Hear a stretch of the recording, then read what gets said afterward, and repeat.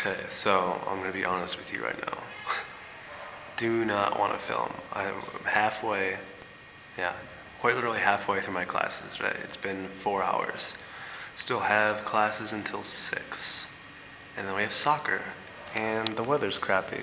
You can't tell, but it's cloudy. And it is 99.9% sure that it's going to rain today. And my face is probably not in the shot.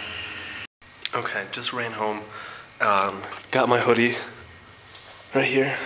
Probably shouldn't demoralize and put it on the floor. But uh, I ran home to get it because it's been wet and cold and rainy all day. And I get there, and as soon as I walk out, the sun comes out. But I'm still confident enough, I'm still gonna need it. I wanna film before anyone else comes in. Rachel, you'll understand later. Alright, day two of the garlic watch. Two days. Two days. Alright, so hopefully you can see me right now, but I'm heading to the library. It's about 9.30 and the library closes at 10, I know. But I gotta use my internet. Uh, the phone company decided just to cut off my internet a few days early before the end of the month, so here I am. It's a nice place. Typically it's open 24 hours, not 24 hours, until midnight. But today it's open until 10. And you know what, that's enough for me. Hmm, so I also didn't realize that I didn't tell you how the soccer games went today. Uh, after school, we got let out a little bit early because we asked to. He's like, oh, I'm never gonna keep kids, you know, away from playing soccer. And uh, he stayed true to himself. Um, no big deal, look what I'm walking behind. Yeah, just another everyday sight around here. Um, anyways, uh, we tied the first game. And as you know already, I'm the goalie, and we blew a 2 0 lead. Um, I don't really know who's, who to blame for the goals would be would fall on.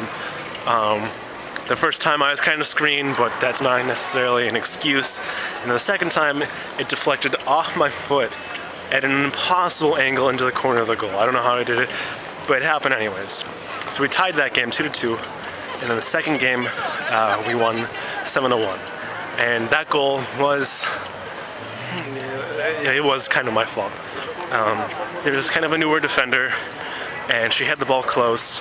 There's only one person from the other team down there, and she was having some trouble. And I was like, "Look, just pass it to me. You know, just kick it. You know, I'll clear it out of the way." And at first, you know, she didn't she didn't hear what I said, but the, the a person attacking heard. And you know, I said it again. You know, pass it over here, get it over here.